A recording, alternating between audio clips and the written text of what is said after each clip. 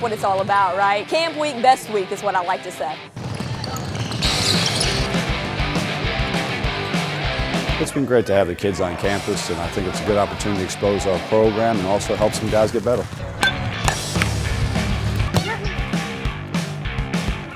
What we've really set out to do here is make sure that we're giving these campers the best experience possible.